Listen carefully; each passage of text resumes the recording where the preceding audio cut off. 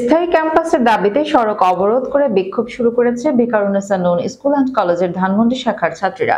সঙ্গে আছেন তাদের অভিভাবকরাও।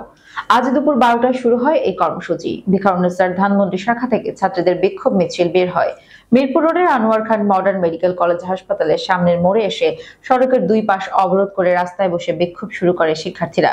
ওই সময় ছাত্রীরা, আমাদের দাবি মানতে হবে, স্থায়ী ক্যাম্পাস দিতে হবে স্লোগান দিতে থাকেন। আপনাদের আশা এবং আকাঙ্ক্ষা প্রতিষ্ঠিত হয়েছে ডাক্তার, ইঞ্জিনিয়ার, বৈমানিক, রাষ্ট্রীয় গুরুত্বপূর্ণ পদে সচিব সহ আমাদের শিক্ষার্থীরা বিভিন্ন জায়গায় আজকে অধিষ্ঠিত হয়েছে।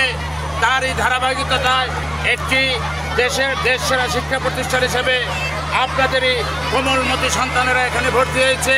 কিন্তু অত্যন্ত দুঃখের বিষয়, নোটিশ দিয়ে বিনা নোটিশে নোটিশ দিয়ে বা বিনা নোটিশে একটা ক্যাম্পাস যদি বন্ধ করার ক্ষমতা থাকে, তাহলে আমরা কীভাবে ক্ষতিগ্রস্ত হব? আমাদের সন্তানরা কীভাবে ক্ষতিগ্রস্ত হবে? আজকে এই সরকার শিক্ষাবন্ধব সরকার, এই সরকারের এই বিকান্নস স্কুল কর্তৃপক্ষ যদি ক্যাম্পাস বন্ধ করা হয়, আমি মনে করব এই সরকারের শিক্ষাবন্ধব কর্মসূচিতে এই কর্তৃপক্ষ কুচারাঘাত করবে। আমি আশা রাখি আমাদের সভাপতি মাননীয় বিভাগীয় কমিশনার, উনি অত্যন্ত সচেতন। দেশের শিক্ষামন্ত্রী অত্যন্ত সচেতন আমাদের মাননীয় প্রধানমন্ত্রী। এই ব্যাপারে গুরুত্বপূর্ণ ভূমিকা রাখবে ইনশাল্লাহ আমরা মনে করি।